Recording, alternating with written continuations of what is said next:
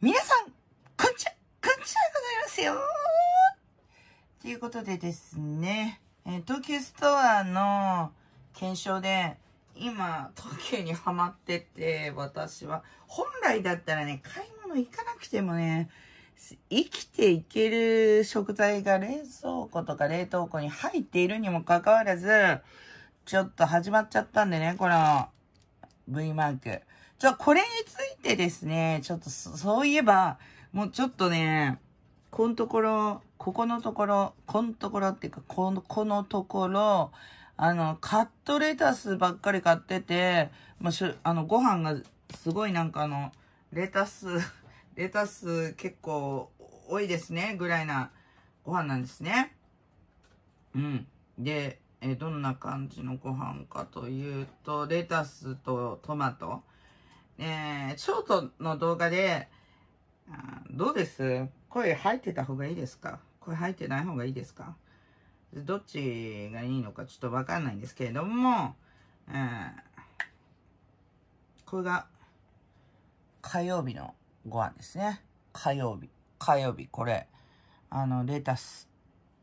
こここれ、これ、もうレタスと、えーその八米トマトでございます。で、あの、解説しながらショート撮ったんですけど、水曜日のご飯が、ちょっと待ってね、ちょっと待ってね。水曜日のご飯は、ちょっと待って、ここれ。縦じゃない、横。水曜日のご飯が、これ、これ。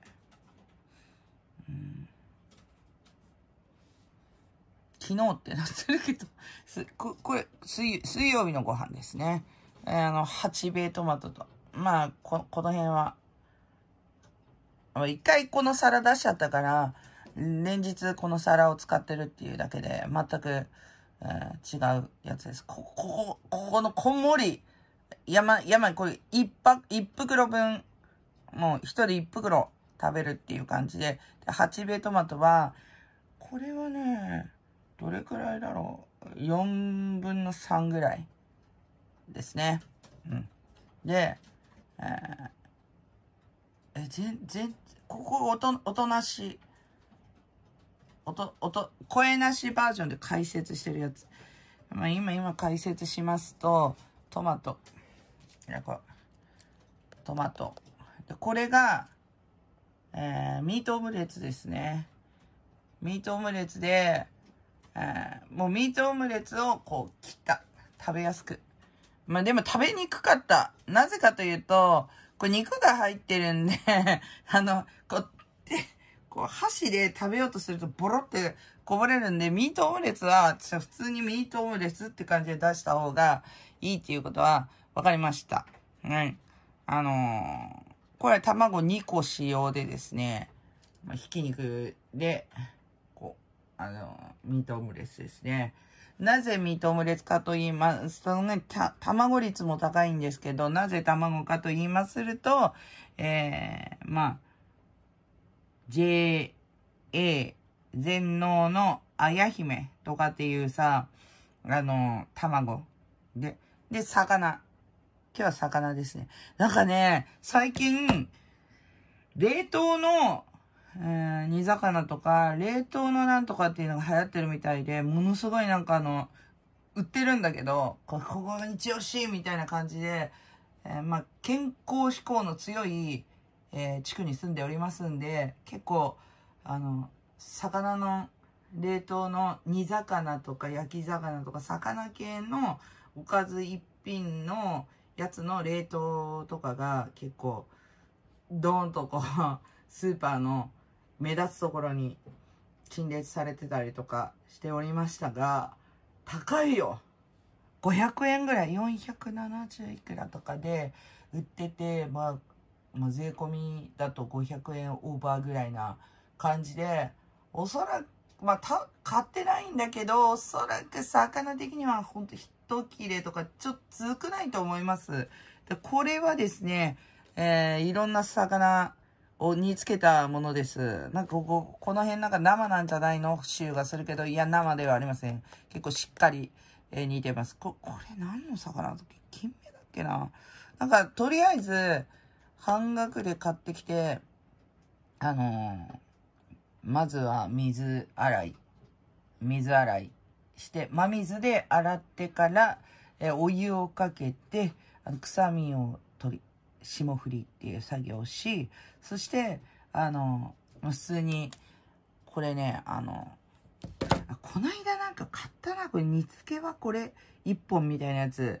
ああ、それ全然使ってないんだけど、あの、すき焼きのタレとか、まあ今すき焼きのタレがなくて、稲毛屋で、あの、エバラの検証があるんで、ちょっと稲毛屋行きたいなと思ってるんだけど、えー、まあエバラだったらすき焼きのタレ。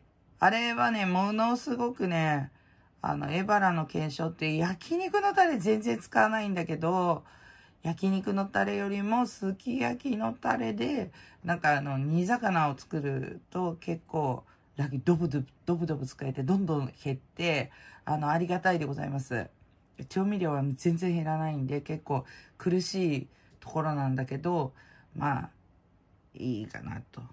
いいかなと。基本的に関東なので、結構あの、醤油のきつい煮物が良しとされる感じなんですけれども、私はあの醤油の色のきつい系はちょっと苦手なので、まあ、割と薄い目の色な方だと思います。どちらかというと、あの、出汁を多く、して、味を、その、醤油みたいな色、どす黒い色をなんとかしたいなって思ってる感じです。で、今日ちょっとね、あの、まあ、うーん、まあ、ちょっと時間がちょっとあったので、ちょっとスーパーを練り歩きながら調味料のコーナーをちょっと見てたんですけれども、あの、蜜缶の検証、この辺多分あると思うんだけど、この辺の東急蜜缶のキャンペーンで、もう蜜缶って言ったらなんかの、えー、リンゴ酢みたいなやつ、100円ぐらいで売ってるやつで、なんとかならんかなと思って探してたんだけど、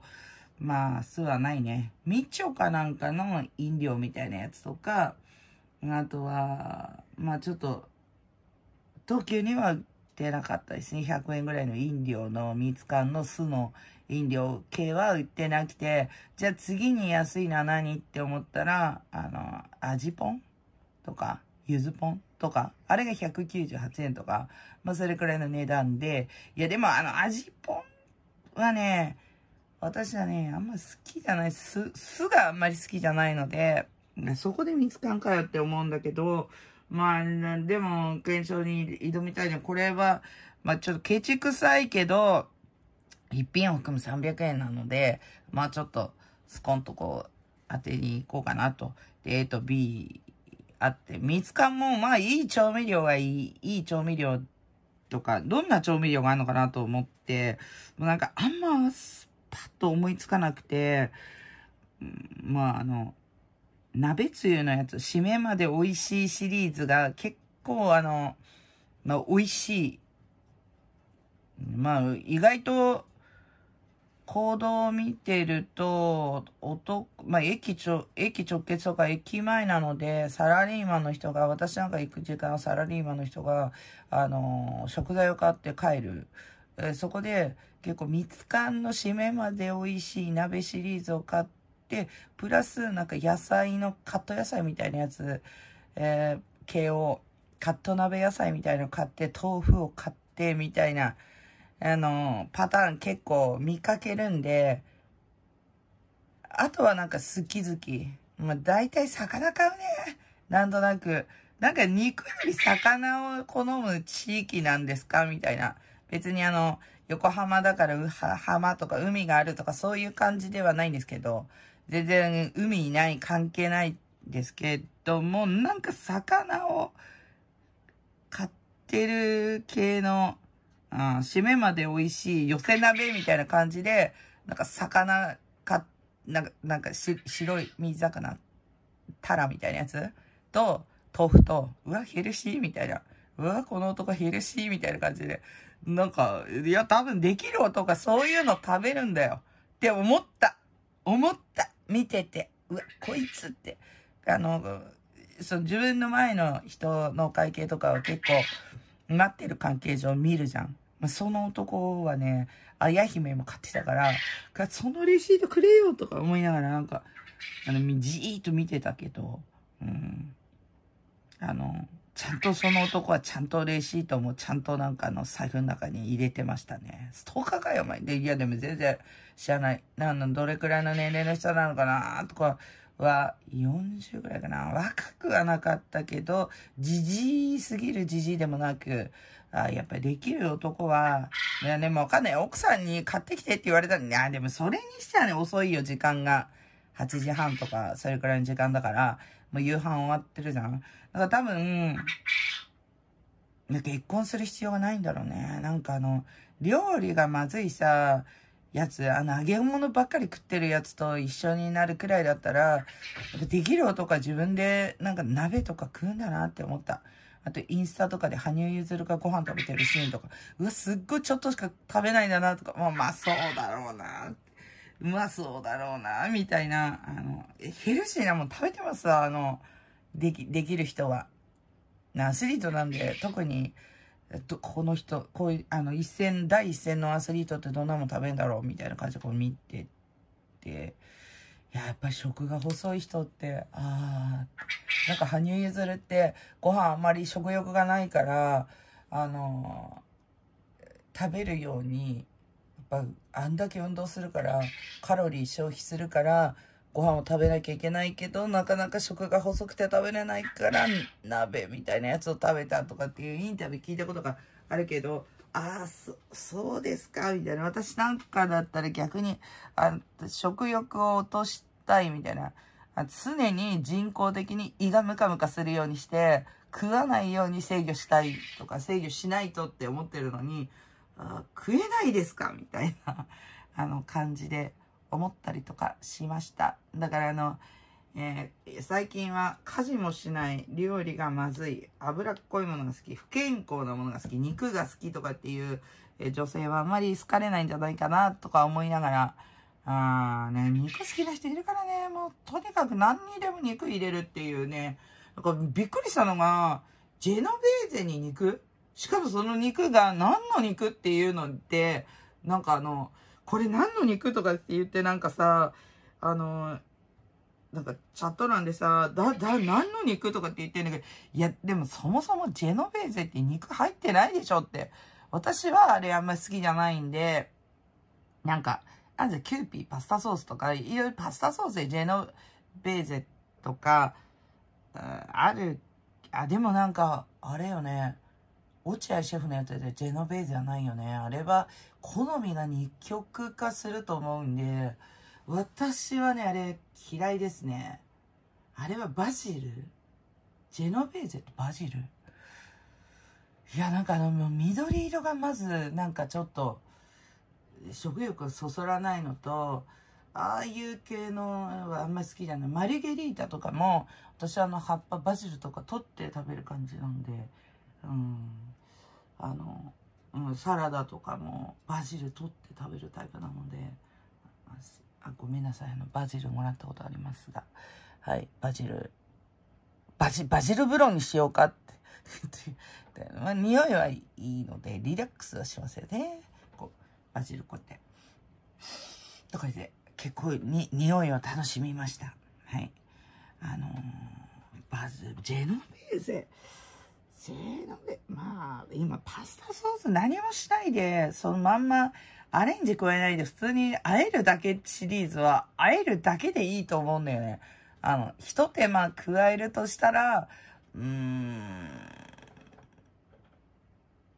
まあでもあれね、結構食品のね、メーカーの会社の人って、本当にガチでやるからさ、なんかその何にもしないでただ混ぜるだけでいかに美味しいかを突き詰めるから、何もしない方がいいんだよね。私は割とアレンジをしてしまう感じ。まあ、茹でた麺をちょっと炒めて絡めてとか、プラスなんか具材、ひき肉ちょっと多く入れてみたりとか、え、したりとかなんか、しちゃうんですけど、いや、でもなんかマンモー、マンモの肉じゃないな。謎肉みたいな肉だったんだよ。何の肉、これは、ブロックベーコンとか。いや、ブロックベーコン、あと、チャーシューみたいな、チャーシューの塊みたいなやつ、あれ？とかって言って、いや、肉が入ってねえよな。パパスタになんかあれは変だろう、みたいな、なんかそんなこと、うん。なんか、な、な、料料理が下手なやつほど謎のアレンジをして、せっかく普通に混ぜるだけでいいのに、まずく作るっていうさ、謎な感じがある。なんか、うん。なんか、あと、料理はね、料理っていうか、子供のご飯において一番重要なのは、私はわざわざ、こう、ちょっと面白いように盛り付けるんですけど、あの、目から見る感覚っては結構重要なものがあって、本来だったら、あの、こう、なんか洗い物とかを増やさないように、一つの一個の皿で、なんか、こう、こう何個も盛り付けて、はーって出した方が楽なんだろうけれども、もうくぼみのある皿みたいなやつあるじゃん。あれね、なんかあの、給食みたいで嫌だとかで、うちの黒子あれあんま好きじゃないんだよね。なんか給食とかなんか、あのなんか、あの、そ、そういう、なんか、食堂みたいな、な、なんだろう。やっぱりなん、なんか、あの、こう、こ、一個一個皿があった方がやっぱりいいわけ、いいわけですよ。うん。くぼみの歩けばあんまり好きじゃないみたいな。まあまあ、でもさ、洗う数が減って、そっちが楽で疲れてる時だったらそっちを取るかなっていう。でも、これなんでこの、あ、そうか、これ皮か。皮だからあれか。これ、これとりあえず、に、に、煮魚と、えー、あとは、豆腐。豆腐はなんか検証。えっ、ー、とね、とりあえず、おかめ、豆腐おかめ豆腐だっけな。おかめ豆腐のやつ、えー、タバコと貯めてます。ここ八兵衛トマト。ご飯は、えー、石川県のお米。もうなんか、その、災害の前に石川県のお米のキャンペーンでハマってて、石川県のお米100万石なんだけど、100万石とか買って、結構あるわけですよ。もう買いに行かなくてもいいぐらい石川県の米がストックで。なんか、ジーンとしながら、うん、結構、お米とかの、多分そういう備蓄してるものとかが水害みたいな形でダメになっちゃって、さ、おさ、酒の酒蔵お酒とかも結構、米どころはお酒とかも有名だったりとかして、その、酒蔵の酒が全滅したみたいな話とかを聞いて、いや、胸が痛いですね。なんかお米が全部ダメになって。ってお米ちょうどその酒を作る酒飲まないからさ工程を何回聞いても全然ピンとこないんだけど酒をこう作るまでの工程のお米が全部ダメになっちゃった話をなんか聞いてでもう本当になんか瓶が私本当にって言うなよく。瓶も結構災害で汚くなっちゃったんだけどあのもう残ってる。慣れて多分地震とかってなんか割れちゃったりとかするのも災害だったりとかするじゃん。なんか、いや、嫌だみたいな。壊れちゃったりとか。す、そのい残ってる数少ない貴重な酒のあれを、あの、自分のお得意様のところに収めて、でもそれは、あの、もう貴重に、だから取っといて、この復興したら飲みましょうみたいな感じのなんか、話、医者の待ち時間の時になんかあの、漏れ聞こえてきましたよ。なんかそれが、なんか相模原の、うん、なんか石川県の酒を出す、石川県の郷土料理を出すところなのかな。で、なんか感動の、とかって言って、うわさ、うわとか思いながら、そっか、石川県なーお米なーとかって、なんか、とにかくね、石川県頑張ってほしいですね。あまだまだあの、能登牛食べてませんけど、なんか最近ちょっと、すき焼きっていうモードにはならない感じ。ほら、あの、しゃぶしゃぶでいいかな。かけポンがね、美味しすぎるんだよ。蜜缶の、あの、味ポンとか、ゆずポンとか、あれはね、ちょっとね、酸っぱい。し、塩気が強いというか、酸っぱいというか、あれね、ちょっとマジにあの、な、調香のかけポン見習えよって、なんか出汁の味がする感じで、酢の味がそんなに強くなくて、もう、結構美味しいんですよ。あれでね、あのー、ポン酢の概念が変わると思いますよ。500円ぐらいなんで、なかなか、ちょっと高いなと。みつかんのかけポンが198円。あ、かけポンじゃない、なんだっけ。みつかんの、えー、えー、なんだ？みつかんのポ、味ポンだ。味ポン。みんな似たような名前つけるからさ。もう山里山木と山なんとかって、あれはもうものすごい引っ掛け問題かよって思うくらい大変よ。あああの、ものすごいなんかみんな同じようなマークだしね、みんな同じような似たような商品出すんで、ものすごい大変ね。農協牛乳と酪農牛乳とかね、パッケージとかもそっくりなんだもん。マジ勘弁してよって。四つ葉牛乳と美味しい牛乳ぐらいも全然違うよっていう、な、形状はなんか似てるんだけど、全然違うよぐらいだったら、まあ、間違いようがないんだけど、パッケージとかが似てるんでね、結構買い物もね、桂馬は慎重に行かないと、お酒本になって最近は、インボイスかなんかの関係で、日にちまたいで、あの、返品ですとか、レシート作り直してくださいはね、嫌がるんだよ。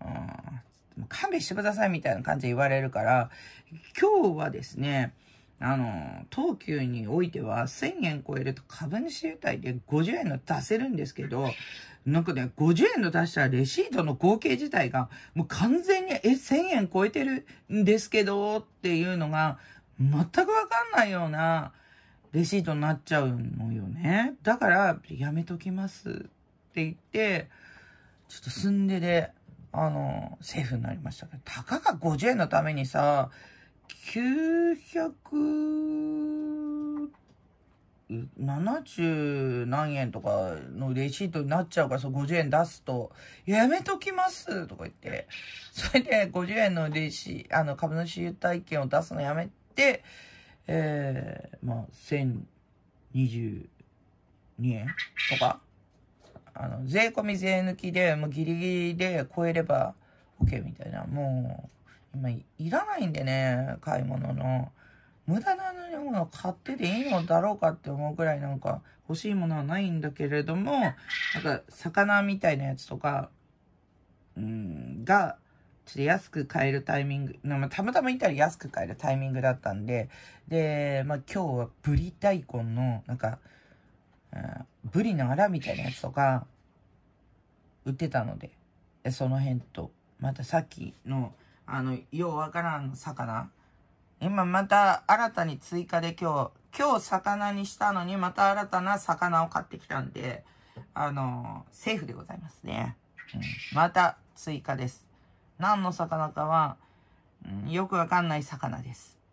で、魚を、あの、まあ、あとは冷凍保存したり、ドリップが少なかったりとかする、すれば、まあ、冷凍したりとか、まあ、あの、漬け魚みたいな感じで、結構なんかこう、贈り物でもらう系とか株主優待系のやつってもう塩気が多くてなんかあの干物みたいになってるやつは結構多いんだけどあれはあんまり健康にいいと思ってないので塩分が多いからまあ魚なんだけど塩分の取りすぎになっちゃうんじゃないかなと思ってあのこういうなんかあの煮魚系でちょっと味味あんの？まあ味あんの？ぐらいな感じの薄、薄、薄めの感じ。薄くねえよって言われるかもしれないけど、そんなにつけ汁にこうずっとつけてないから、多分、多分かなり薄味、だと薄味テイスト。だと、の魚、あの、塩が、この食べたら、もう塩辛くない系の、鮭とかも塩辛い鮭とか、でもあれがあれか、塩、塩でなんかするのかな？なんか鮭の種類も、もう食べたら、うしょっか、しょっから？っていうのと、あの、トラウトサーモンみたいなの、何の味もしないサーモンもあったりとかするじゃない。うん。どちらかというと、何も味もしない方の魚を食べた方がよく、えー、特にですね、肌とかにはですね、アスタキサンチンとか、あの、オレンジのサーモン、サーモンの結構に肌にアスタキサンチンの、あの、皮膚科とか行くと、アスタキサンチン配合のオレンジのあの美容液みたいなやつ売ってるぐらい、あの、鮭、鮭、鮭、あの、塩辛くないやつで、塩辛いの食べると、塩は良くないでございますからね。塩はダメですよ。塩と砂糖と油、塩と塩。え、ちょっと待って。塩糖子だ。ちょ、ごめん、ごめん。塩、塩じゃない。塩、塩糖子がよろしくないでございますからね。うん。それで、あの、最近なんかね、すごいなんか衰えてんだよ、自分が。ぼーっとしちゃって、なんか何やってんだろうとか、買い物しててもキレがないんだよね。なんかなんだろう、これ。ああ。ちっこい値段見えないしさ、不自由な、なんか自分の能力がさ、こう、こうやってこう、上がっていったところから、こう、衰えてこう、落ちてる落ちてってるな、的な能力値がちょっと低くなってきてる自覚がちょっとありますね。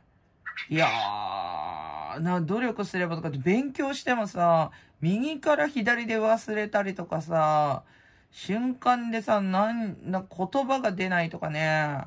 でもみんな言ってるから、私もとかって、いや、みんな通る道なんだろうなと思いながら、いやーなんか夜遅くなってくるとなんかよく見えなくなってくるしさ、何ですかこれは。廊下です。あ、そうでございますかみたいな。瞬間に言葉が出てこないとか、あとなんかすぐ忘れるとか、なんか用意周到にしていって、なんかこれを、検証のね、これを買おうって言って、整えて、行って、その整えたやつを忘れていくとかね。何もやんなかった方が良かったじゃん、みたいな。うん、ポイントカードとかも、今日はこのスーパーに行こうって言って、もうこの、こんないっぱいポイントカードあるからね、こんないっぱい。こんくらいなんか、だからもう行くスーパーを、もう、ね、2件とか決めてるんだったら、そのポイントカードだけ持っていけばいいわけだから、用意して、わざわざ用意して置いていって、うれしくのスーパーとか言って置いていってすっかり忘れるとかね。それスーパーアルプスでやるとマジへこむよ。ああ、どこまでわざわざ行って、ポイントカード忘れていく。と、この間忘れまして、ちょっと悔しかったんで、100円払って作り直したよ。いや、作り直したって言っても、どうせ家帰ったらあるから、じゃあもう、まあ、しょうがない。じゃあ、つって、まあ、そこで、あれよ、ちびすけの名前にするとかさ、うん。まあほら、悪意でいっぱい作ってるわけじゃなくて、どうにも忘れてって、って思いながら、じゃ、じゃあ家族の名前で、何生年月日とか書くときは未成年とかだと、ちょっと引っかかったら嫌だなと思うんで、まああの、日にちは、据え置きで、年数を、まあ俺、1980年とか90年ぐらいにしとけば、まあ、辻褄合うでしょ、みたいな。あの、もうね、そこまで細かくすると、あれ、何歳って書くときの何歳っていうのがわかんなくなるんで、1990年とかにしとけば、あの、もうおのずと、パッて、1980年とか、1990年とかにしとけば、今2024年とかだったら、1990年が誕生日って書いたら、え30歳なん、あ、ちょっと待って、待って、1990年と34とか、すぐ計算できるじゃん。1980年だったら44とかね、さっと計算できるような、キリのいい番号に、そなんで、生年月日の細かいとこあんま関係ないから別に。縁起が良さそうな生年月日とか、そういうのやると分かんなくなるから、あと、末日とかもさ、分かんなくなるから、うん。統一して。で、ポイントカードとかそ、そういうの、あの、エコスのカード作るときは身分証明の確認されたから、もうビビったからね、マジにね。免許出してくださいかなんか言われて、身分証出してくださいかなんか言われて、ポイントカード、あの、平屋カード、T って書いてある。あ、で、もうどこ行っちゃったっけ？って。なんかさ、作ってもなくすっていう、この老化現象っていうのかな。この間もさ、トレッサーのカード作ったのにさ、1回しか使ってないのに、速攻なくしたからね、トレッサーのカードはね、300円も発行手数料にかかる上に、午後6時までに行かないと作ってももらえないっていうね。すごいイライラする。そんで、ポイントは、えー、100円で0.5円とか、なんかものすっごいなんか、まあ、アホみたいな。だって1万円ぐらい買ったってさ、えー、いくら分？いく、いくら？みたいな。いくらのトリスポイントくれってめっちゃけねとか言っても、50円とかそんな感じじゃなかった。だからもっと、換金率低かったような気がする。なんか、え、何このポイントって？やる気うっせろ。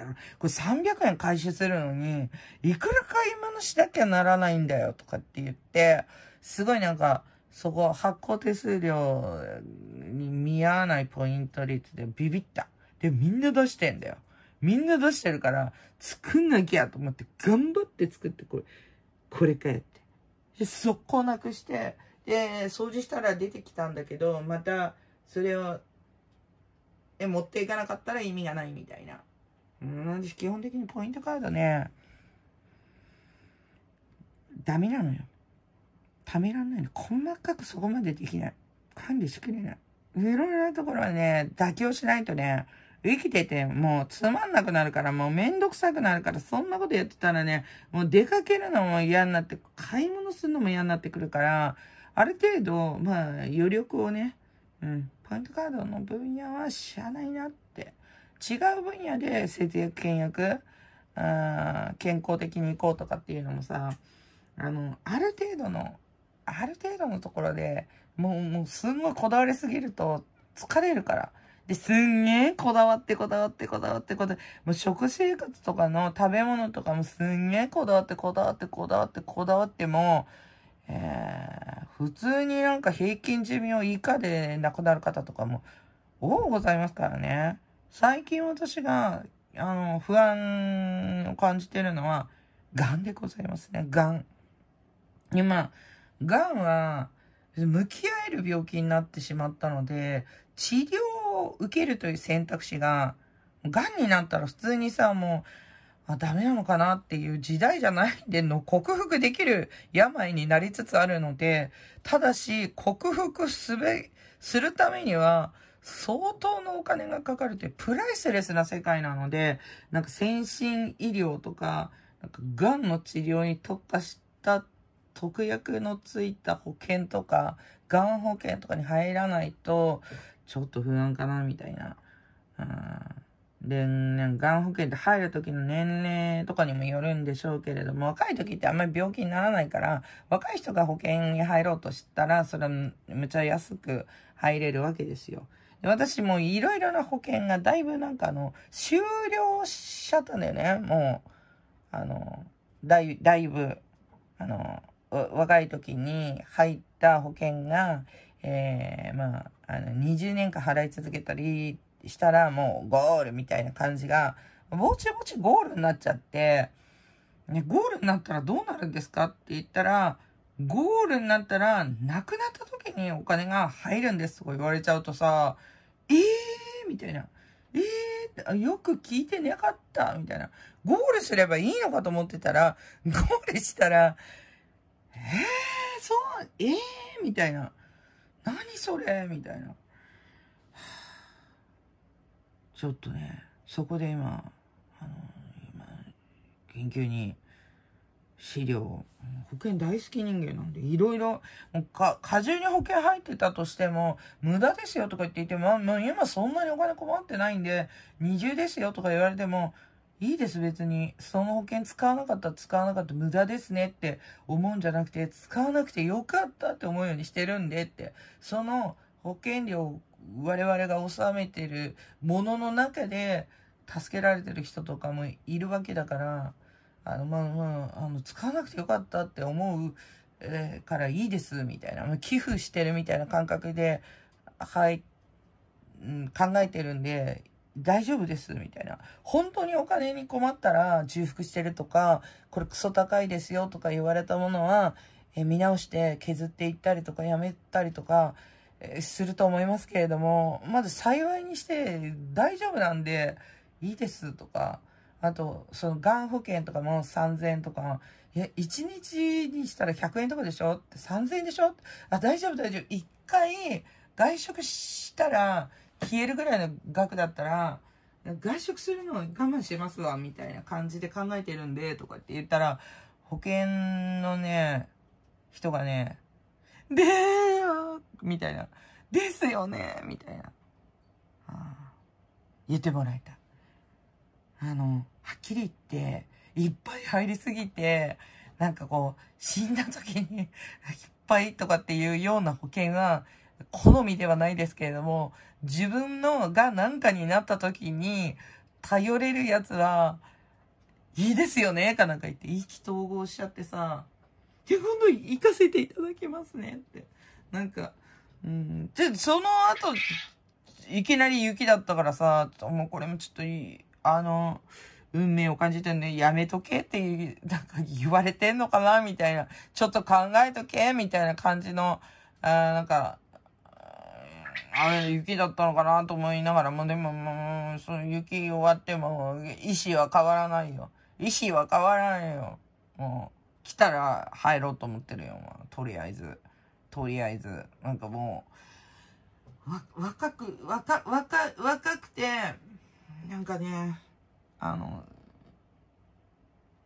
がん診断されてる方がね、結構ね、あの、いるんで、まあ、生稲さんとかもそうだよね。なんか、あの、がんとか言って、えー、乗り越えました。がん、あの、本当なんか、検診は大事ですとかって言ってて、もうあの時感動したんだ、感動っていうか、そうなんだって思ったんだけど、言ってねえわな。全然。嫌なんだもん、あの、検診が。もっとなんかないの？やり方。あの、乳がん検診なんかわざわざさ、それはなんか巨乳の人だったらいいかもしれない。こう、こう、こういうなんか、うん、なんかさ、台みたいなところにさ、こういう、ちょや、やったことある人います？っていうかみんなやってんだよね、大体。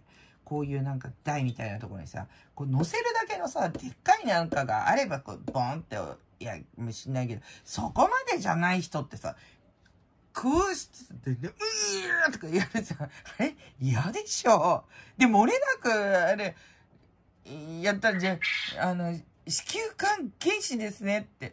もう羞恥心とかがなく、もう出産経験がある人だったら、おそらくもう羞恥心とかなんか言ってるあれはないと思うんだけど、嫌だよね、あの、なんかこう、あの、子宮がん検診のやつ。こう、ウィーンこう何が嫌だって、ウィーンはまだいいんだよ、あの歯医者みたいなやつのウィーンは。いや、いいんだけどさ、ここにカーテン閉められてさ、なんか、そっちだけさ、うーん、あーとか、あれが嫌だよ、なんか、なんかないの、もっと。なんかないの、もっとなんか。もっとなんかさ、もっと画期的ななんかがないと、検診は、私ですら嫌だって思うんだから、さ、出産経験があって、もうこんななんかあの、ババアになってもあれが嫌だって思うんだから、若い人なんか絶対嫌だと思うよ、あんなの。若かったら。出産経験がなかったら絶対嫌だと思う、あれ。嫌だと思う。で、あんま、やらなくてもどうにかなっちゃってる人の方が多かったりとかもするんだよな。どうにもならない人が、ちゃんとやりましょうどうも、あの、言ってるからちゃんとやった方がいいんだろうけどね。もう嫌だよな。嫌だよな。もうちょっとなんか、なんかないのなんかこう、もうとか、あの、あの、なんか、ないのって思うかなっていう。で、大体周りがなんかになりましたとか言うと、あの、なんかこう、考え、考える。うん。そこから遅いのか早いのかよくわかんないですけど、まあ、皆様もですね、えー、ぜひ考えてみてください。考えてみてください。あの、で、ゴンって、女性と男性で、私は女性の方が癌の発症リスクっていうか、あの、保険料高いと思ってたの？乳がんと子宮頸がん？子宮がんとかがある分、女性の方が癌になるリスクが高いんじゃねえかなと思ったから、女の方が高いんじゃないですかって思ったら、癌が違います。男性の方が若干高いんです。若干なんですけどねって言われて、おいくらぐらい違うんですかって ?300 円とか、まあそれ、な、数百円のまあ、もともと3000円とか4000円とかの保険の、中の300円とか400円とか、なんか1割ぐらい高いっていう認識だと、えー、すると、まあこれも年齢によって全然違うんだけど、それはあなた、あの、30で入る人は3000円、40の人は4000円、50の人は5000円とか、多分大雑把にそんな感じだと思うの。もう60の人は、ちょっといろいろ制限とか、もう結構あって6000円とか、まあ80でも入れますよとかいう保険。80で入れますよ保険ってどんだけの保証なんになるんだよって。金額とかね、まあ気にはなるけどさ、そ、そ、そこから入るっていう結論に至るのすげえなって思ったりするんだけど、いや、それを受け入れるのもすげえなと思うんだけどさ、いや、それを CM に流すのも相当すげえなって思うんだけどさ、いやー、まあでも人生100年なんでね、80とまだ20年生きられるからね、えー、そこまでなんとかしとかないとダメ。ダメ。うん、で、な、な、んで、男性の方が高い。ねえ、なんでですか？って。え、男性、あ、えー、あの、基本的に男の方が平均寿命が短いので、死んじゃう年齢がわ、あの、早いから、みたいな。をざっくりね、そんなこと聞きましたよ。あ、そうなんだ。いや、そう言われてみりゃそうですよねって。平均寿命が、男性が今、今何歳 ?78 とか80ぐらいになってんのかな？で、女性は85とか、90ぐらいになってんのかな？え、90も生きられないよね。ちょっと、どうなの？平均寿命。なんか、うちのなんか、近くのこの辺は全国で、あの、男性のご長寿1位。うん。1位。1位、2位を、あの、川崎の宮山行くと、争ってるところすげえなと思って。長寿を。ななんか、どっちかがどっちっても、正直に、どっちに住んでても、隣なんだからさ、みたいな。男性長寿とか女性もまあまあいいポジションに、全国的にいいポジションにいたりとかするんですよ。意識が高いというか。もうおそらく、あの、買い物とかしてたとしても、まあそういうなんかね、意識高いやつが多いんですよ。マジに。で、これさ、あの、相模原とかさ、八王子とか行くとさ、いや、もう、弁当をさ、ハイエナのようにさ、ダー半額になった弁当をさ、ダー買ってる人の方が多いのに、いや、こっち、鍋よ。鍋。買ってるの、独身の男が。向こう、八王子とかは、相模原とか八王子とかね、あっち、あっちは、弁当だよ。惣菜とか弁当とか、あの、惣菜なんて大半が揚げ物なんだよ。揚げ物で弁当だったりとかするんだよ。まあ、それでもね、コンビニで、のやつよりも、スーパーのやつはその日に作ってその日に売るっていうだけで、若干保存料とか添加物とか入ってないかなっていう感じなんだけど、いやー、でもまあ弁当なんかの花形は揚げ物なんでね、なんか全然違うなっていう温度差を、えー、この関東の中でも感じ、さらにこれが東海地区になってくると、デカ盛りとか、デラ盛りとかね、デラとか書いてね、あの、でっかいやつ、惣菜のさ、売り場の面積が、もう、もう、大げさじゃないんだけど、マジに、スーパーの半分は惣菜売り場だったりするんだよ。もう、半調理とかじゃないの。完全なるでっかい惣菜が売ってんの。びっくりしちゃって。いや、だから、あの、お盆とかさ、あの、長期休みとかを控えると、ジャンプパッ、惣菜だけでさ、1000円オーバーのでっかいやつ売ってんだよ。何ですか？みたいな。え？みんなが集まるから、や、おばちゃん頑張って料理作るんじゃないの？あおばあちゃんとかお母さんとかが料理作るんじゃないの？なんか違うんだよ。みんなで惣菜を食おうみたいな感じになるみたいで、すっげえでっかいパックの、あの、惣菜が、え？え？っていうようなでっかいパック。まあ、八王子も大体、そんな傾向ありますよ。アルプスの素材とか結構でかいのと売ってたりとかするんで、うん。なんか、あ、ち、違うんだ、みたいな。うん、もう、こっちはね、ちょっと、一品足りないためにって言って、小分け惣菜とかが売ってたりとかするんだけど、東急とかは、あの、ローゼンとか、相鉄ローゼンとか。あと、小田急は、店内調理の惣菜というよりは、なんかちょっと名店の美味しいのをなんか寄せ集めてる感じ。なんか、どこどこの何々とか、どこどこのカツサンドとか、どこどこの何々とか、どこどこのなんとかとかっていうやつを、ああ、そういう感じね、みたいな。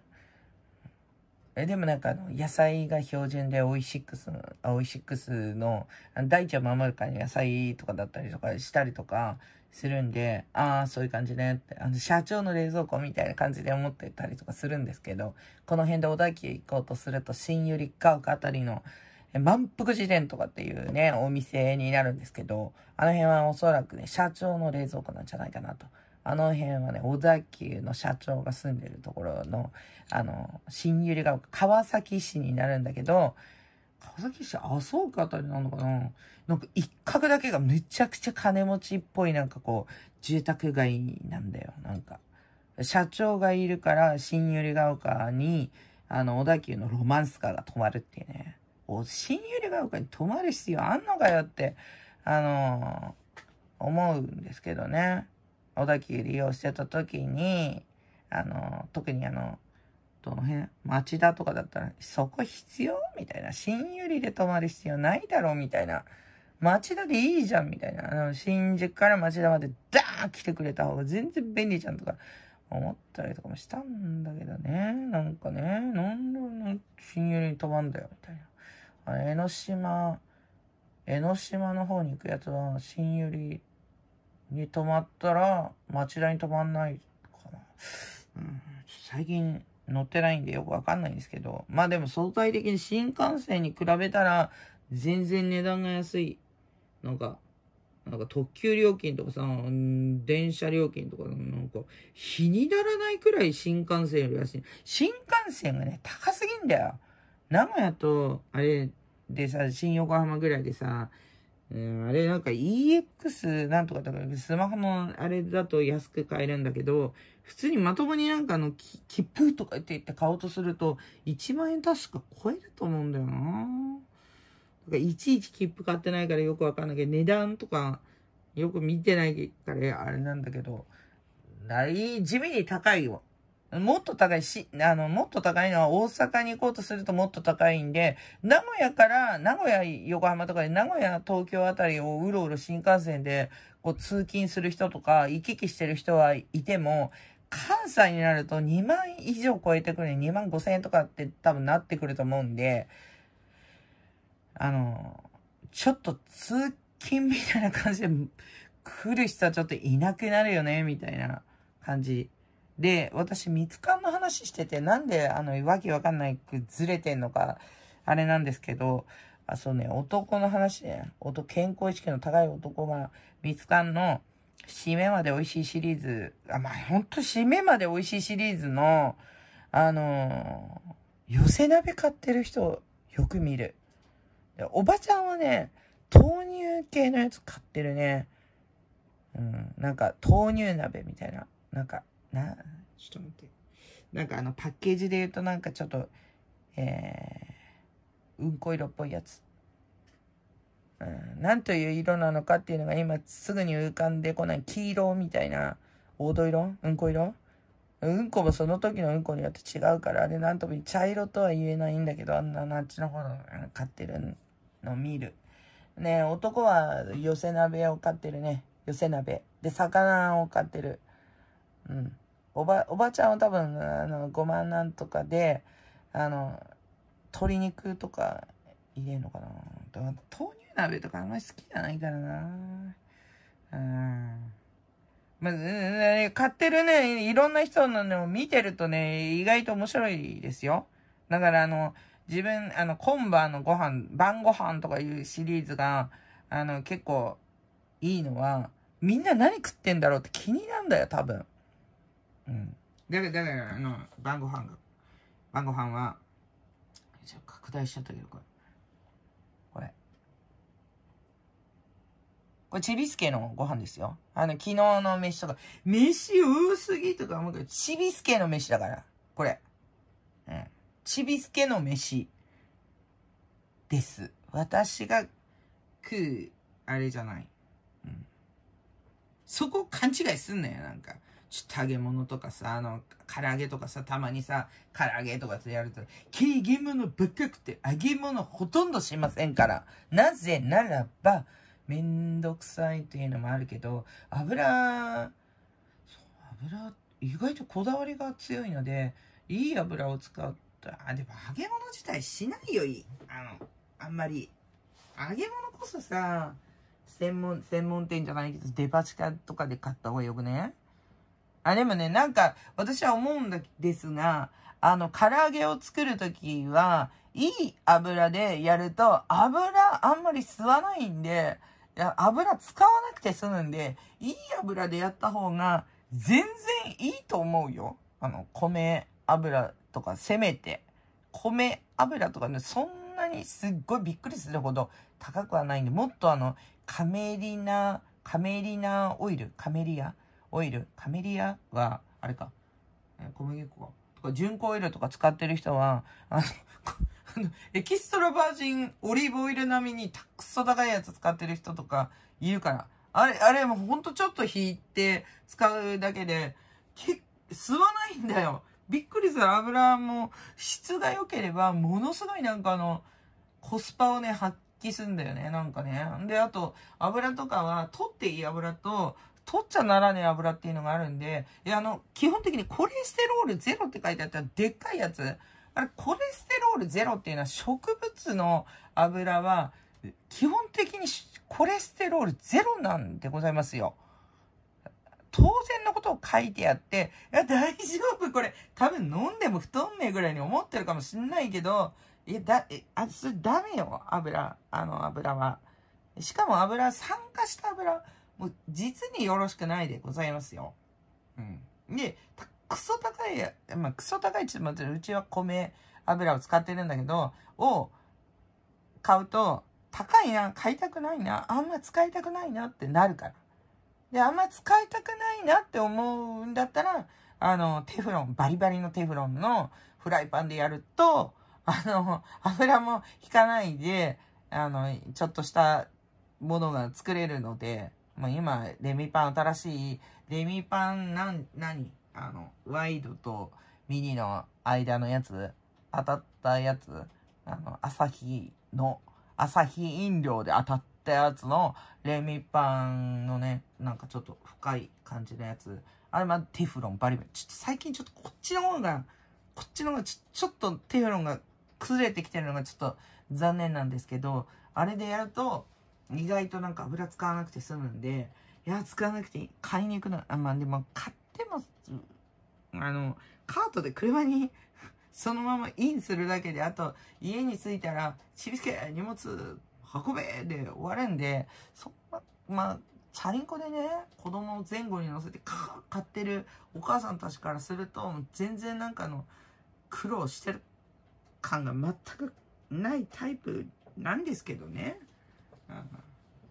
米とかもさ、子供さんが3人とかいると、もうすぐ米なくなっちゃって、米買い物につけたい。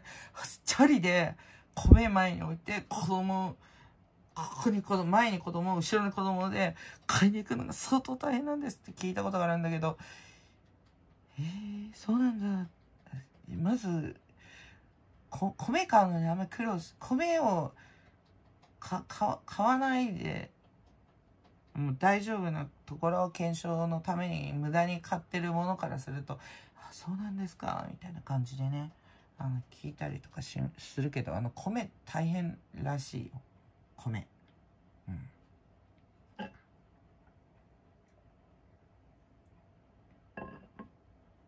で、えー、みつかんのやつは、鍋のつゆも良かったんだけど、調味料を見て、みつかんも料理酒があって、料理酒があって、まあ、料理酒は398円とかちょっとオーバーしすぎだろうみたいな。300円でいいって書いてあるんだけど、ギリカス300円の、あの、締めまで美味しいシリーズは278円とか、それからちょうど320円ぐらい税込み。まあまあ理想的な、これ一品を含む300円税込み以上とか書いてあるんで、税込み税抜き、ちょっともうこう文字が読めないんだけど、た、多分多分税込み以上。これよく見て、ちゃんと。自分で。待って。はあ、税込み300円なんで、あの、278円、ギリ OK で322円とか、そういう感じの金額になるんで、締めまで美味しいシリーズ OK です。あの、今のうちに買っとけば、とりあえずもうスーパーって3月ぐらいになったらパッ鍋なくなっちゃうんで、あの、今買っといた方がいい、いいでございますよ。うん、急になんか食べたくなる時ってあるからさ、あの、4月ぐらいでも。食べたくなんだよ。なんかよくわかんないけど。なんか、なんか鍋が。なのにもかかわらず鍋つゆが売ってねえとかね。夏とかもさ、なんで？みたいな。鍋が食いたいんだけど、なんでないんだよ。あと、鍋つゆで、あの、煮物とかも全然 OK なんで、あの、贅沢ですよね。鍋つゆで。リモ魚とか煮るっていうのはちょっと贅沢ですよね。こう、ぜひこういうあの、ぼ、なんか調味料みたいになってる系で、あの、鍋つゆの、鍋、これは鍋のつゆと同じですよ、系調味料だ。あったらいいのになって思うんですけど、あの、ね、こう、うん、まあ、それっぽい調味料はいっぱいあるんで、別にそんなことしなくてもって思うかもしれないけど、私なんかあの、無駄に検証のために物を買わなきゃいけないから、じゃあその調味料でどう、あの、それを使うかっていうことを考えるんで、なこういう、なんか、この締めまで美味しいシリーズだったら、普通にこう、ペットボトルみたいなやつないのとか思ったりとか。もう、でも濃縮とかは、あの、ミツカは粉ビッチとかっていうシリーズになるんですけど、濃縮のやつは便利かなと。で、味の素のやつは多分独自の技術で、あの、ほんだしを細粒化するじゃん。あの、多分工程で固めて、あ、鍋キューブっていうシリーズ。鍋キューブは、あの、コンソメみたいな形のやつで。あれ結構もう水分が入ってないから、結構ここ溶かしたりするのが大変なんだよね。だったら濃縮タイプのやつの方が全然なんか楽なんで、私は鍋キューブ、えー、プチッと鍋、粉ベッチだったら粉ベッチの方がいいです。ねえ、まあ、A バラが検証いっぱい打ってくるんで、あと、まあ、魅力的、今、に、あの、ミツカンケチなんで、粉ベッチが一番好きなんだけど、まあ、だから多分、そんなキャンペーンやらなくても売れるんでしょうよ。いいなって、だって、もう、検証なかったら何買いますかってもね、粉ベッチがいいもん。ミツカンのしめ、あの、鍋つゆ美味しいもん。で、そこをさ、無理してさ、エバラで、プチと鍋、はっきり言ってゴミがさ、嫌なんだよ。プチ、プチってやって、確かにプチと鍋いいよ、濃縮で。ゴミがさ、ちょっと嫌なんだよね、あのゴミ。どう考えたってな、粉ベッチのやつの方がちって切ってあの、ラーメンの汁みたいなやつ。あれなんかゴミの傘、傘が細かいこと言って申し訳ないですけど、あと持って帰る時とかも、ゴツゴツした感じよりも、シュッとなってる方が全然、まあ、最近ちょっとエバラも、それ系のやつあれなんだけどさ、なんか、なんだろう、しゃぶしゃぶそのままのつけだれつけないでも食えますよみたいな。別にそこじゃないんだよね。プチッと鍋の、な、ゴワゴワ感をな、もうちょっとなんか、プチッと鍋スマートみたいな感じにしてくれると、スティックみたいなやつとかにしてくれると、ちょっとだけ、あの、プチ、プチ、プチ、プチッとちょっとだけとか、あの、そういうのの方がいいのになって思ったりとかするんですけどね。うん。で、あのまあ、この、まあ、みつかんの、で、中で、みつかんの白だしとかがあって、白、白だしか白だしか、えー、こう、こうやってね、喋るときで、こう、なんか YouTube かなんかしたら、白か白か、正解どっちなんだろうっていうのが無性に気になったりとか、普通に喋ってる時は白だしって言うよ。白って言うよ。でも正確には白だしなのかもしれないけど、自信はないですが、白だし見つかんのあったんで、それ買いました。あれね、ちょうど278円とかなんで、まあ、ここら辺物価が高いんで、えー、それ198円で売ってるよとか言われると、身も蓋もないでございますけれどもね。マジに物価が高いのよ。物価が高いのよ。マジ、そんなこと気にしてるね、人たちが買い物に来ない地区なんで、もう、あの、多分値段なんかね、あんま気にしてないと思う。うん。多分、多分、多分気にしてないと思うね。だってさ、さらに八米トマト、やべえことになってるよ。これ。スタンドバックトマトって書いて八米トマト3個しか入ってないでしょ、これ。3個しか入ってないのに、450、こんなになんか値段って変動します？このトマトで。えー、って。398円。298円。458円。東急でこんなに値段が違うんですよ。ありえるありえねえだろ。マジ。これ。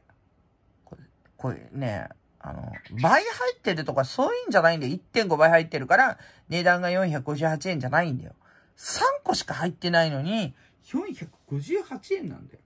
普段だってあの、8ベトマト買おうと思ってなかったぐらい値段が高えな高いなと思って。で、だからといって、氷コピントマトみたいな、赤い、鮮やかな感じではない。まあでもまずくはないですよ。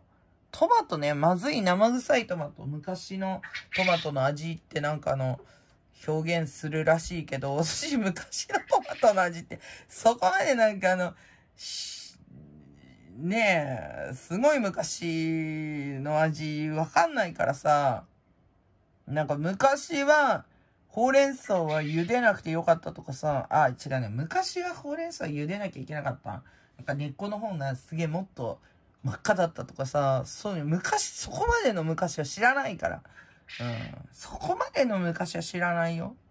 一応、ば、ばばですが。ばばですが。いやでもさ、厳密に言うとさ、26歳とか過ぎたらもうおばちゃんとか言われんだよ。もうその段階で26歳で結婚してたりとかしたら、おばちゃんってって言われんだよ。うん。だから、それ26歳の人と、36歳の人と、46歳の人と、うん、56歳でもおばちゃん、おば、ばば、ばばとかおばちゃんとかのくくりだろう、多分。66歳とかになったらおばあちゃんのくくりになると思う、多分。ななんとなく。なんとなくですけれどもね。トマトそんなにすんごい味が美味しいってわけではないけど、458円もしたらクソ高い。クソ高い。ありえない。それが言いたかっただけですよ。なんか、じーっと、触るのはトマトデリケートだから申し訳ねえなと思いながら、ちょっとどう違うんだろうって思って。で、あとですね、私最近、最近っていうか、いつも女王様がですね、コメントで、良かれと思って私にね、コメントしてくださってるにもかかわらず、うん、返事をすぐ返すにもかかわらず、中身をよく理解してないっていうケースが多々あって、1年2年とかぐらい経ってから、女王様の、ね、アドバイスがよく理解できるっていう、そういうパターンがすんごい多いんですけど、最近よくわかった。この検証の時に、あの方はですね、もやしもやしって確か言ってたのよ。もやしって。あのもやしで買うが安いとかさ、なんか何なんだろうって思ったら、分かった、私ずっとカットレタスで勝負してて、今日行ったらもう8時過ぎぐらいかな、8時ぐらいだったから、もうね、カットレタスが売ってなかった。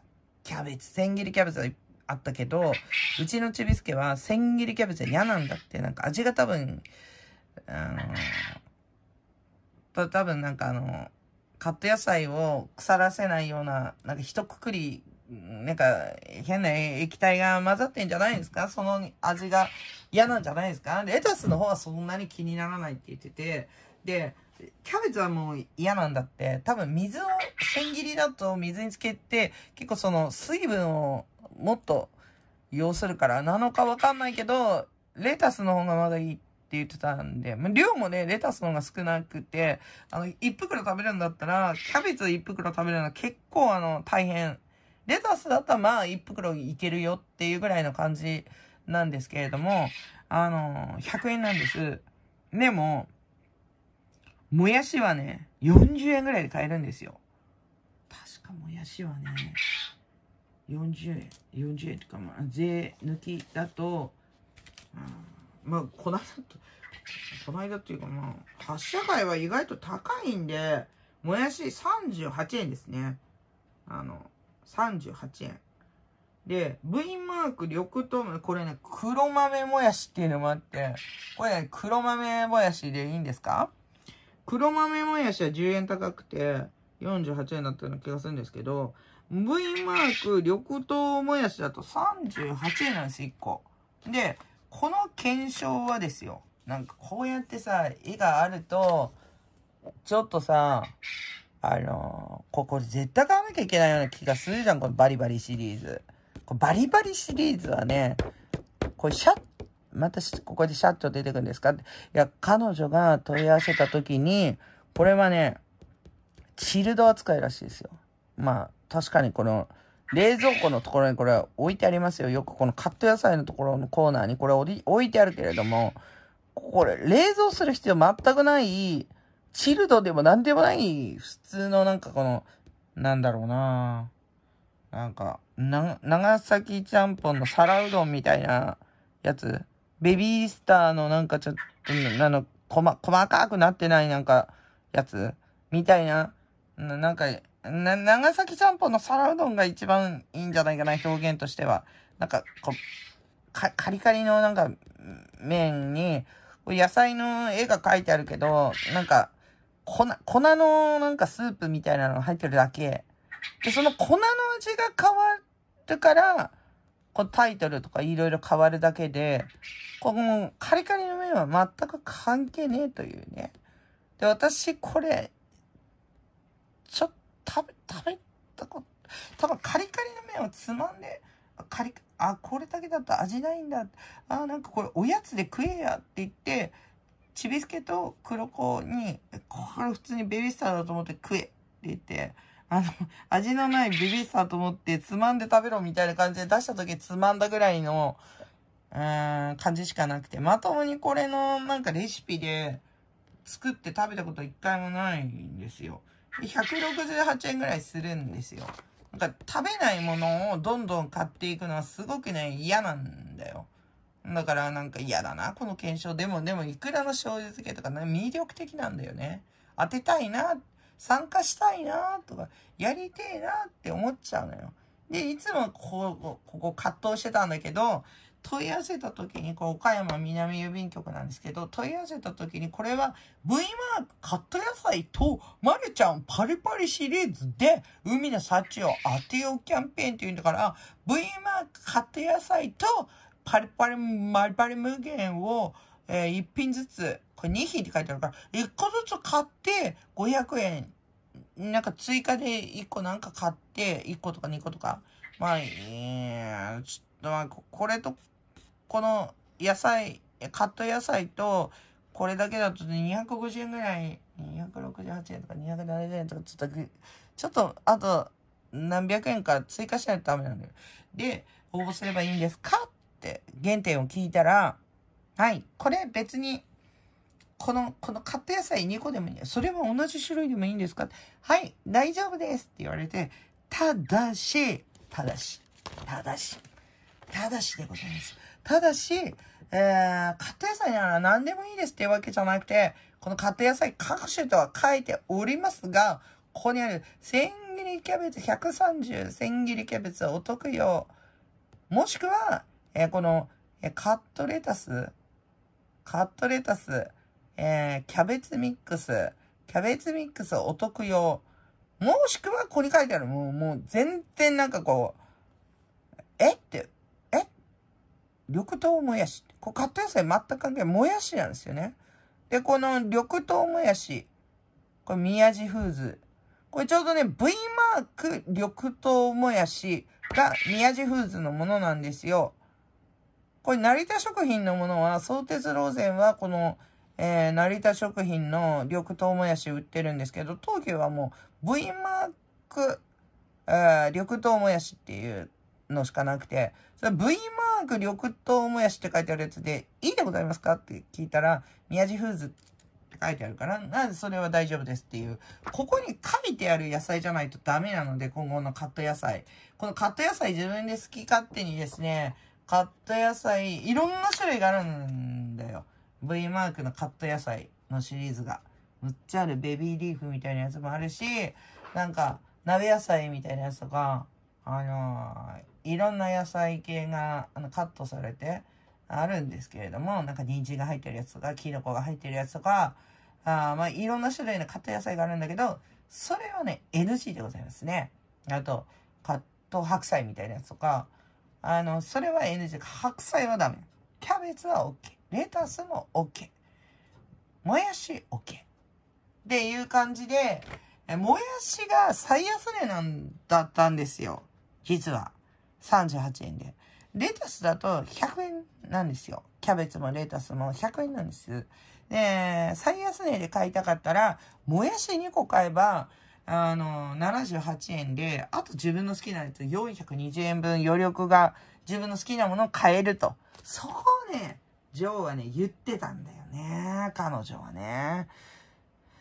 いやー、やっと理解したよ。やっと。あ、そういうことね、みたいな。今日だからね、そのブリの魚、魚、魚が、魚意外と高いんでね、魚半額でさあ、400いくらとかの魚、二切れ入って400いくらの魚、赤魚みたいなやつ買って、で、450とか、もうなんか、うん、魚。とりあえず魚。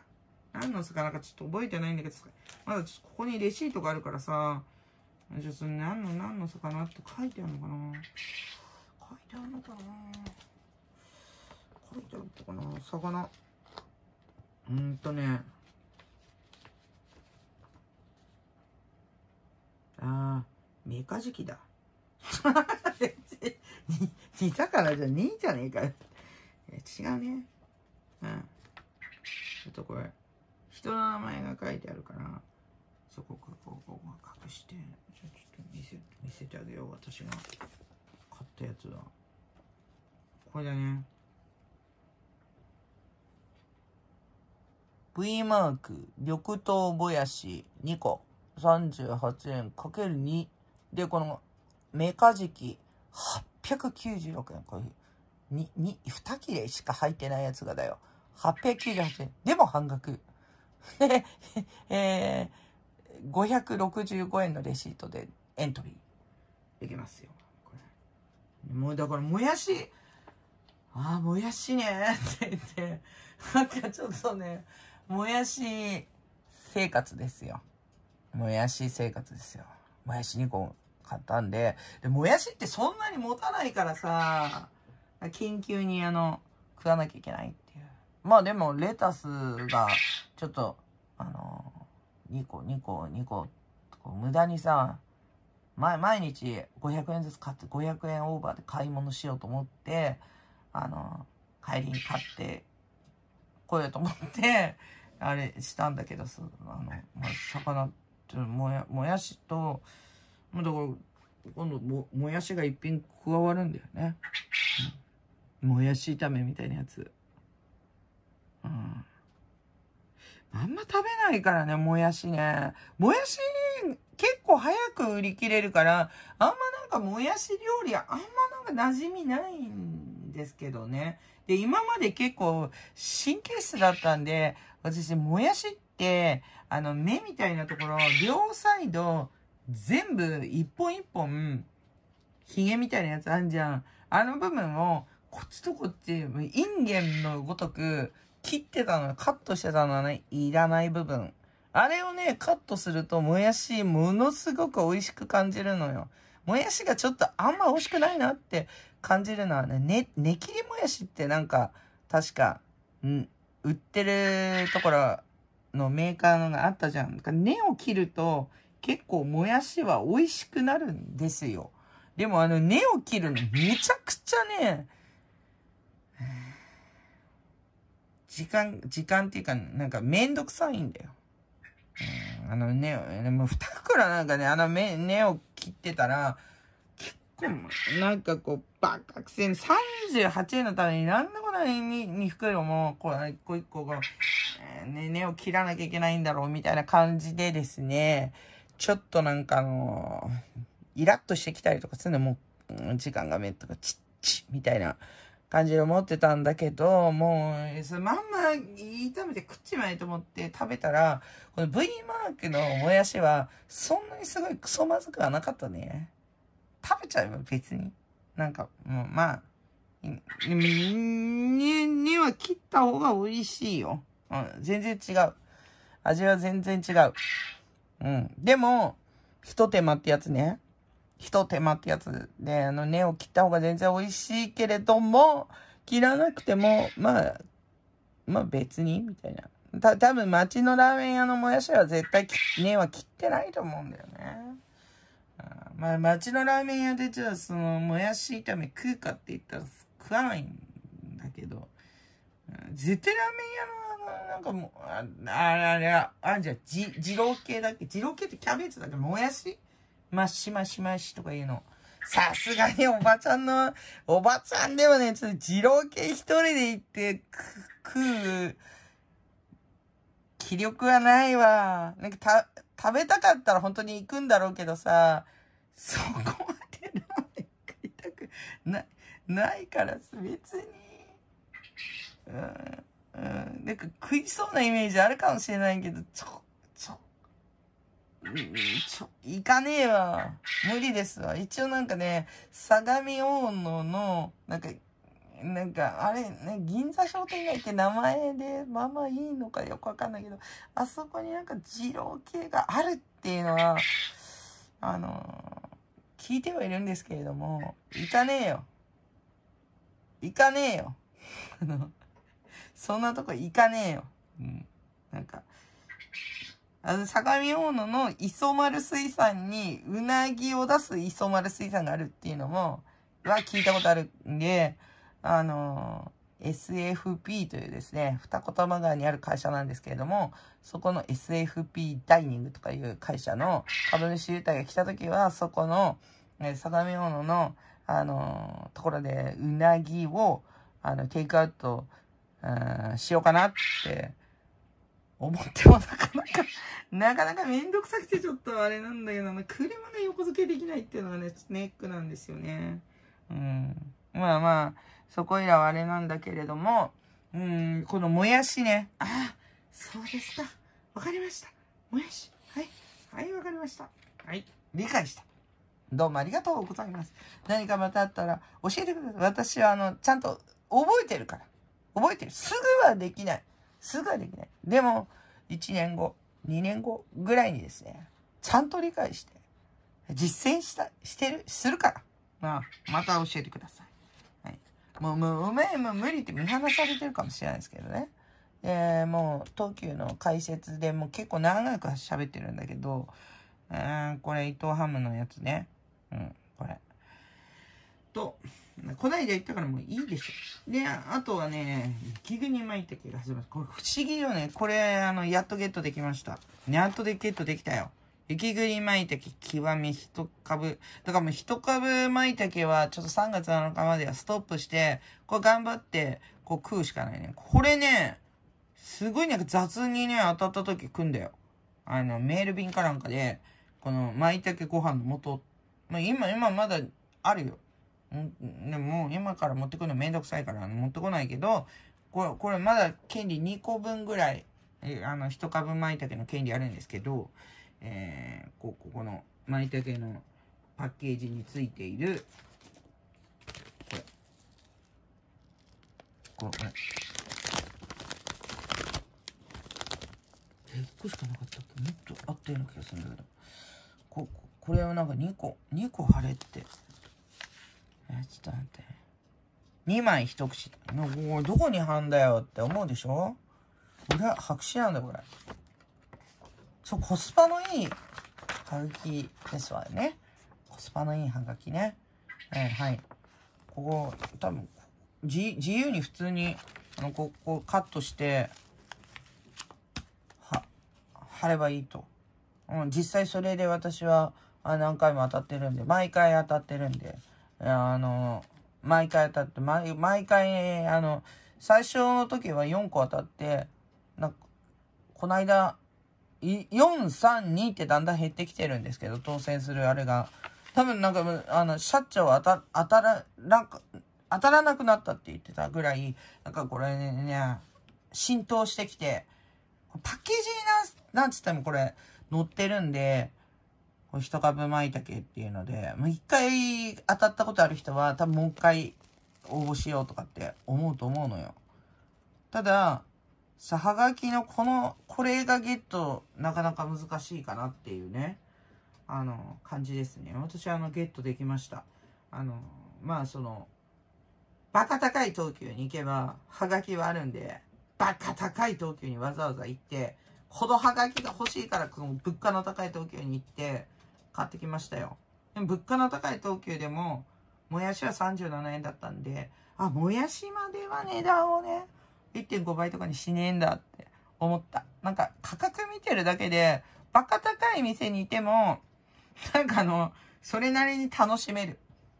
なあここまで高く、ああ、同じトマトが298円、398円、あ、あ、お宅は458円でございますか？みたいな感じで、値段の高さにうーって思いながら、あの、楽しめちゃうっていうね。うん。いろんな視点で、あえてクソ高いスーパーに行くっていうのも、検証においてはですね、必要かもしれません。あの、まあ、ケーマーの人は、バカ高いスーパーには行かないと思うので、基本的に。基本的にバカ高いスーパーで検証やる人いないと思うんでね。うん、もう、ここ、ここ、ここは、バカ高いけど、そんな値段全く気にしてないような人しか来ない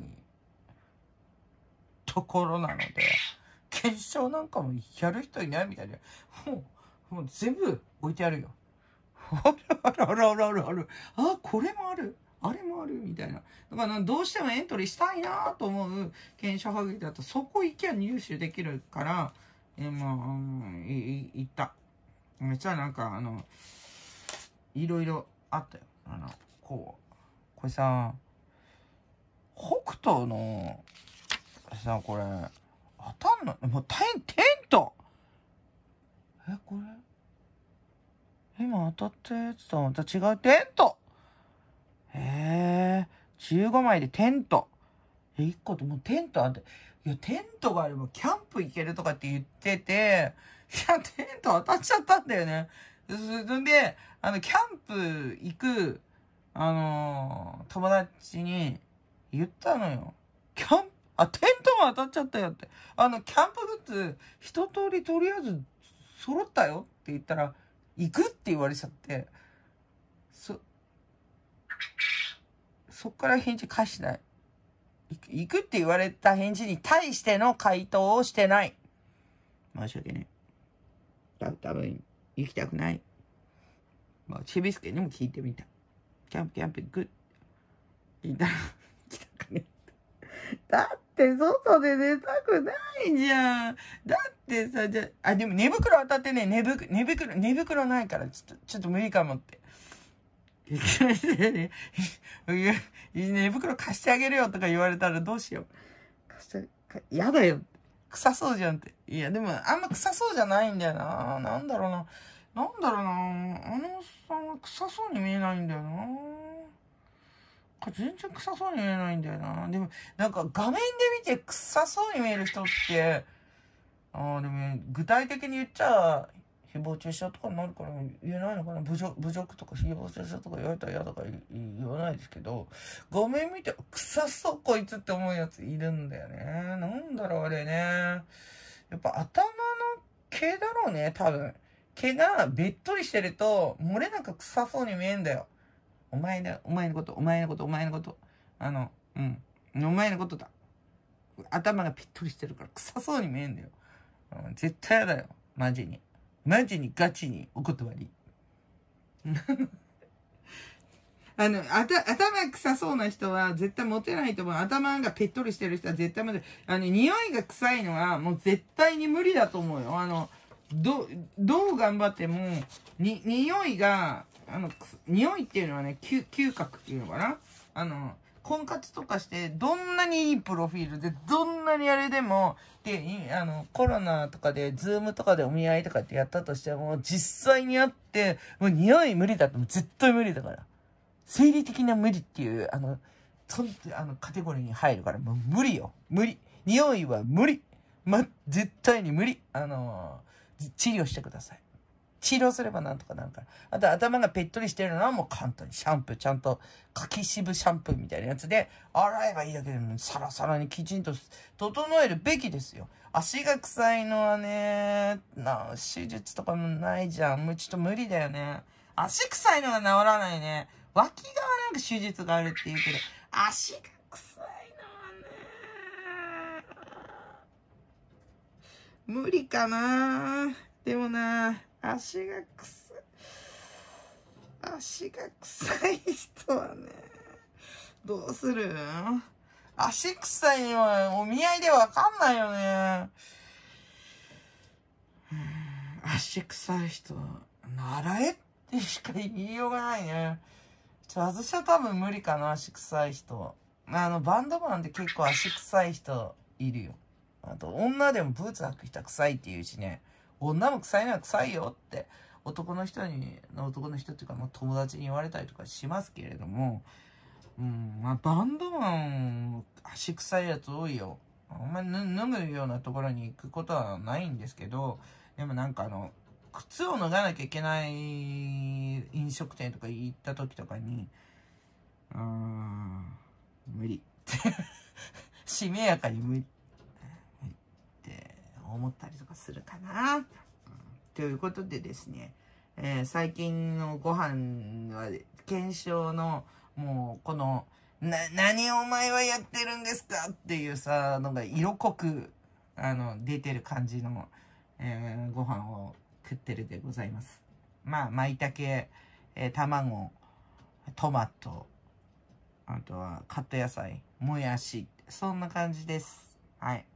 ということで、ご視聴ありがとうございました。